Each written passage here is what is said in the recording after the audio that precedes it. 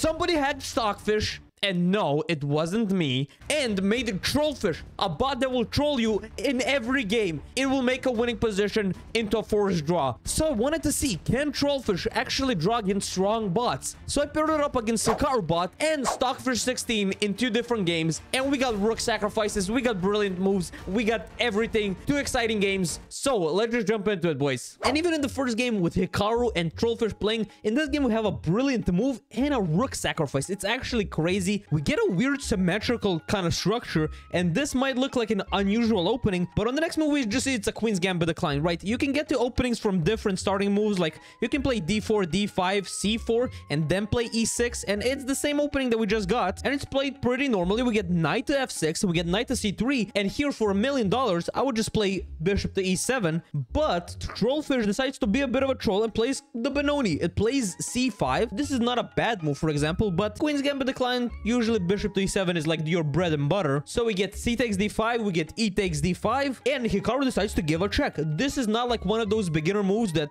oh, I see a check, I must give a check. This is actually a pretty fine move here. The knight blocks. And now, watch this knight carefully because Hikaru is to try to apply so much pressure in this position. So he plays knight to f3, Black plays bishop to d6, which I don't know why Trollfish did this. I thought like just d takes c5 and now your bishop has to move again. Bishop d6 seemed like a redundant move. Bishop e7 just makes much more sense. But now, instead of castling in this position, white actually jumps the knight into the center, putting more pressure on this just spin knight. And black has a lot of choices here. Black can castle, black can take this knight. But black decides to play the best move, which is queen to c7, basically putting a Uno reverse card and saying, no, I'm putting pressure on your pieces. And here for a million dollars. I will give you a million dollars if you guess this next move. If you gave me a million dollars to come up with a move, I would maybe castle. Maybe I would take the knight. I don't know. Develop the bishop, do queen a4, anything. Hikaru bot plays pawn to f4, bro. What is f? I, I don't understand. This is why I love these bot games because they're so confusing. And now, as you can see, Trollfish is winning. It's minus one. But here is where I remembered. Trollfish actually is to try to draw the game any chance it gets. In this position where instead of castling or doing anything normal, it plays queen to b6. What a stupid looking move. Like, what does that do? It doesn't attack the bishop, that's for sure. And Hikaru, again, he can castle. He can, like, take the knight. He decides to play queen a4. He wants to put more pressure in this position. Now he has a queen and bishop battery, a knight. Everything is staring at this pin knight uh, on c6. And while everything looks dangerous in this position, Trollfish is just chilling. Trollfish is actually better in this position. You just take the d-pawn and now there's a sequence of moves that has to be calculated carefully, right? White decides to take the knight on c6. And now you actually don't want to take the knight back. Why? Because bishop takes. If you block with the bishop, I can just take, knight takes.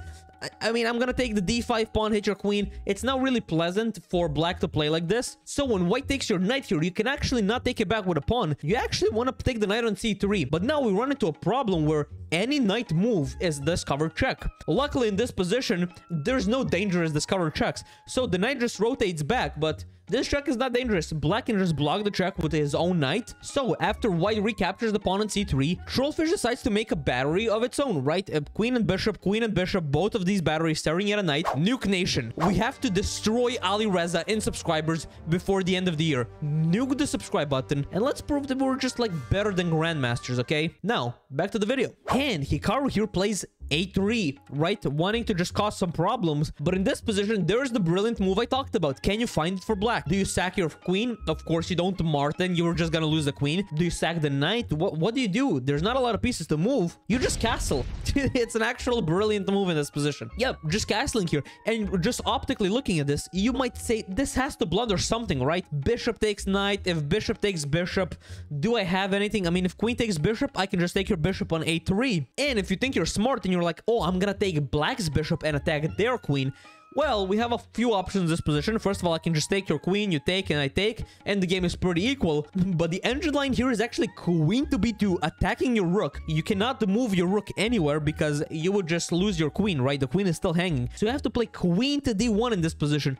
But now I have queen takes c3 with check, and I'm gonna pick up your bishop. Crazy tactic for black here, and it all comes from just castling in this position. But Hikarubot doesn't decide to go crazy. Hikarubot just decides to castle as well. But now Trollfish knows that it has to go to the other side and fight. So it just starts moving all of its pieces. It moves the knight, and Hikaru Bot is kind of scared here. He's like, I sense an attack. My king is a bit weaker than Black's king is. Hikaru Bot trades the bishops, and now goes for a queen trade. But Trollfish doesn't want to trade a queen here, even though Trollfish likes to go for draws. It actually likes to start winning the game, and then in the winning position go for a draw. And after rook to b1, look at how beautifully Trollfish plays this. Takes the bishop out completely, and now Hikaru is like, uh, we need to start some attack. We need to get aggressive. Rook to f3, we want to do a rook lift. Pretty obvious idea, right? You want to bring the rook over to g3 and try to somehow checkmate black or just win material in this position. The problem is white isn't the only one with rooks here. And now we're going to see why white is slightly worse in this position. The pawns are weak. The e pawn is weak. The c pawn is weak. The a pawn is weak. After a3, we just get h5 and black is the one that's actually going to be attacking.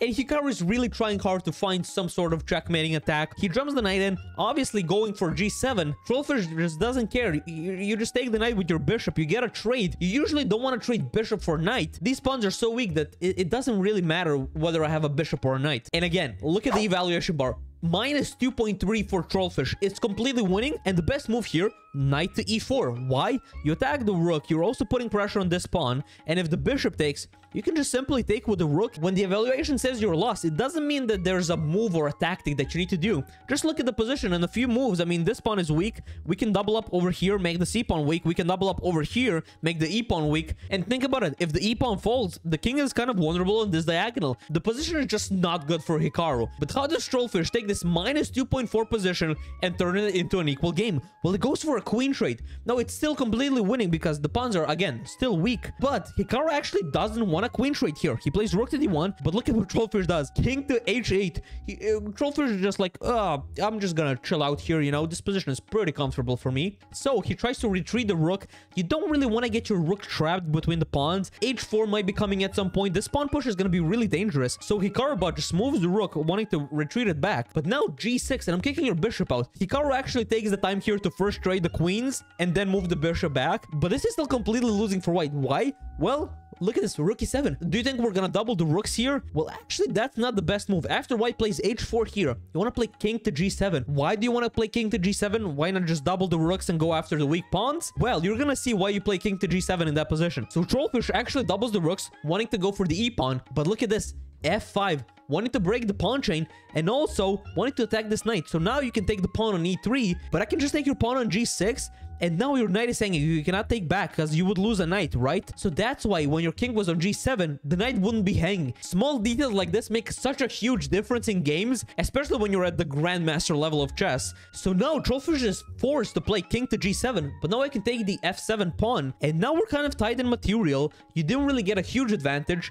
And Hikaru is trying to go for swindles, trying to go for tricks. He plays rook to f1. He sees the knight is pinned, but this is not really a dangerous move because you're just kind of a move too late. I can trade the rooks over here. And look at this. E1 and I'm going after the A pawn. And we're in an endgame that's completely equal. But the Trollfish is actually going to get an advantage here. And you're going to see how. First of all, why is this endgame equal? Doesn't white have weak pawns? Like, isn't Trollfish just going to win all of those pawns? That is true. But Hikaru bot also has a bishop that's a light square bishop. And all of black's pawns are on light squares. Look at this. They're all targets for this bishop. And now both sides start walking the king in, okay? First Hikaru. Now you could have just taken the a3 pawn here. I don't know why Trollfish didn't do this. Instead it went after the bishop, but I just moved the rook and I defended. Again, both sides walk the king in. But now we go after the h pawn. Again, easy to defend. G3. And we get A5. Now, A5 is kind of a smart move because you put your pawn that's a potentially a passed pawn on a dark square so this bishop cannot target it. The problem is I got other pawns to target. I'm going to target the H pawn at some point, right? And even though this position looks very drawn, and it is drawn, in a few moves, Hikaru's king is going to wander in. Trollfish is going to give a check with the knight. The king goes back. And look at this. In a few moves,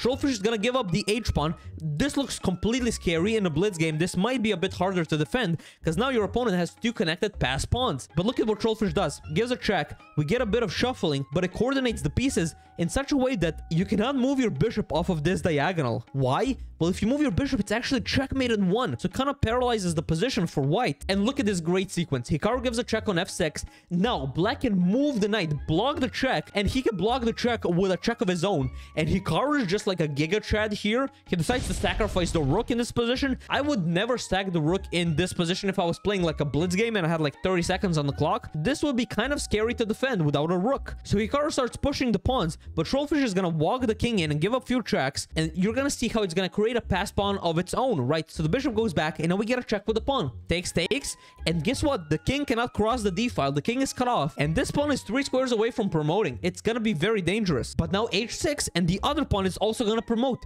Oh my god, what is happening? Which pawn is gonna actually promote? Who's gonna win this race? Trollfish plays c3, again, two squares away from promotion.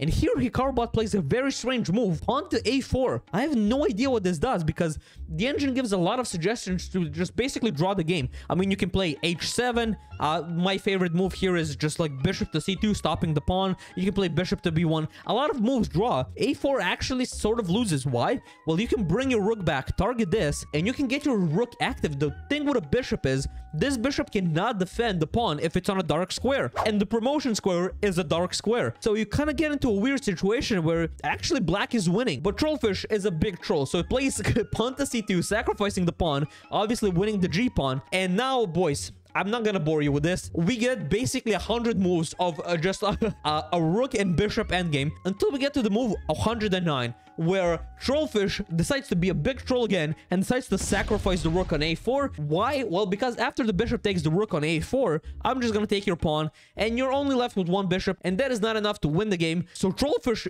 does his job correctly and draws Hikaru very easily, and it could have won in a lot of situations if it wasn't programmed to troll. Can Trollfish actually draw against, well, the real Stockfish? Uh, these following games are about to blow your mind. So, now it's turn for the god of chess, Stockfish 16, who is 3500 rated. All of you Levy kids, stop saying it's 4000 rated, okay? Look, it says it here. Stockfish 16, 3500. Stop. But we do get a very weird opening in this game, and you're gonna see it's fascinating what both of these engines do in this game. We get in like a reverse Sicilian. Look at this. But it quickly it turns into the four knights, which I hate any opening that has four knights on the board. Like, tell me you're boring without telling me you're boring.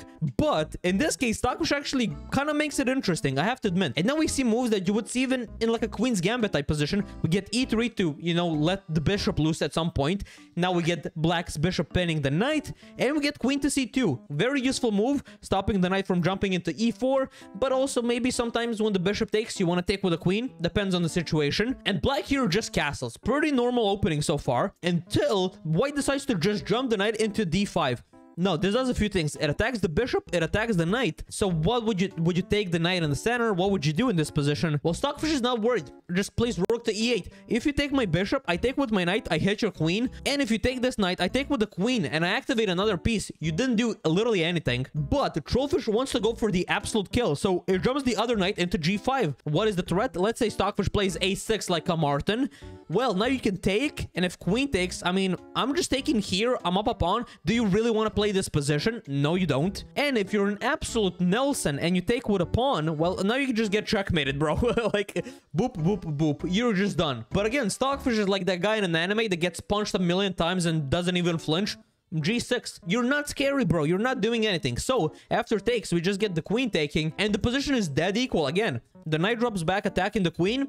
Stockfish just brings the queen back to the 8. Trollfish plays a3 to attack the bishop. The bishop just goes right back. Look at how weird this looks. All the pieces are on the back rank, even though everybody tells you activity, activity, activity. But actually, Stockfish is just patient and it's gonna get a lot of activity really quickly. How? Well, it's gonna put the bishop on g7 and on the next move, it's gonna play f5, kicking the knight out. The knight has to rotate somewhere. And then in a few moves, it's just gonna push the e-pawn and open up this bishop. And now the knight is pinned to the rook and Stockfish got all of its pieces active, but it also got a lot of control in the center and it got a lot of space on the opponent's side. So obviously Trollfish doesn't want to be pinned. It pins itself with bishop to b2, right? A nice little fianchetto. And again, we look at the eval bar, it's zeros. So how does anybody win in this position or push for advantage? Well, both sides put the knight into the center. Nice little outpost by the pawn, right? But now Stockfish actually attacks White's knight with its bishop, right? Trying to develop it. The knight moves attacking the bishop and the bishop just goes back. It still stays active, right? It doesn't go back to where it was. Keeping an eye on that pawn, even though this pawn is not hanging for now, Trollfish actually decides to push this pawn.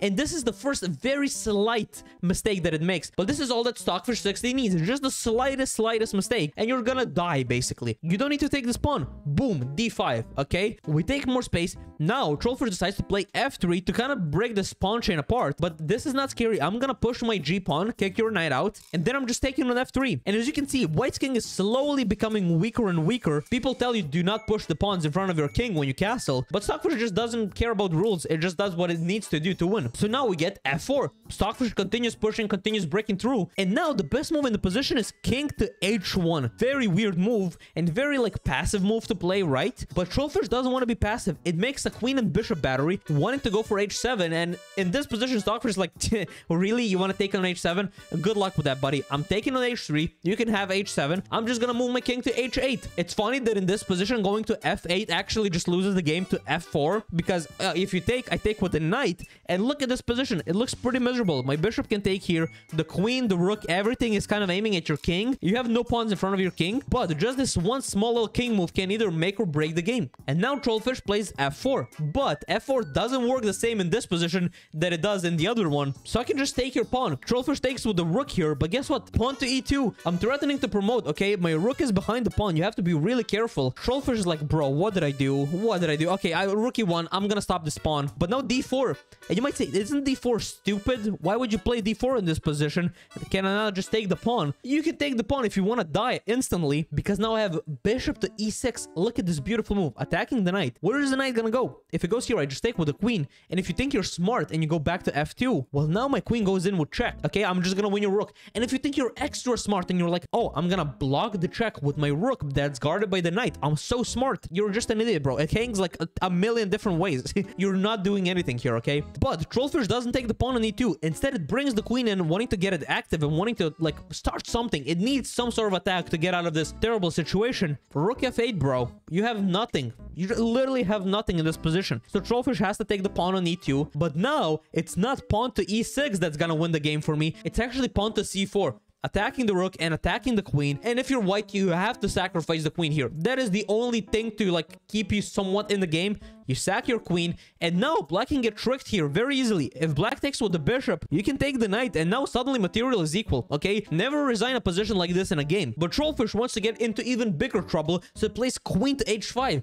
And this is a very tricky move. Let's say Stockfish, again, smokes crack and plays c6, for example. Well, now you have just checkmate in 3. You move the bishop back with discover check. If the bishop blocks, you take, okay, and this is mate. And if the king just moves, this is mate. Again, a mate in 1, the bishop holds the escape square. But Stockfish is not an idiot. Stockfish doesn't fall for these easy tactics. It just takes the rook on e2, attacking your queen again. The discover check now doesn't work because I can just take your queen. And now we get a bunch of trades. Okay, we get rook takes rook. Again, you don't want to take with the bishop. You take with the queen to keep your knight guarded. Now the queen goes backwards, takes the bishop on e2. And you might say material is almost equal here. But what you forgot is that, well, your bishop on h7 is now hanging because the queen moved. So actually, Stockfish is up a piece. And you're gonna see how Stockfish wins the game. It's such a giga chad way to win the game. So bishop takes pawn, the queen walks in, and this looks just like super dangerous because the rook is gonna swing over, all the pieces are there. After d3, we give a check with the knight. And in this position, king to h1, it's made in like 13 moves. For Stockfish, finding mate in 13 is as easy as it is for Nelson to blunder a queen. So, Trollfish actually decides to sacrifice the queen. You don't even take the queen in this position. Why? Well, if you take the queen, I can actually give a check and fork you, winning the queen back, right? The king moves, I take your queen, and I defend my bishop. But it's not a forced win like what Stockfish does here. Stockfish actually takes the bishop with check, after the king moves up, again, we don't force a queen trade. We, we don't have to rush anywhere. Rook check first. The queen blocks. And again, we don't take the queen yet. Queen to d5 check first. Now the king moves again. And now we take the queen. You can take my rook back, but it's too late in this position because after queen to f3 check, on the next move, the bishop is going to deliver the killing blow. Bishop to c3 is checkmate. And Stockfish just dismantles Trollfish in 39 moves. But what's even more impressive is this video, boys. It's the new animal bots. Martin, Nelson, I teamed up against these animal bots. I played some games in that video. Absolutely crazy games. We have a great trick at the end. So watch that. And I'll see you boys in the next one. Bye.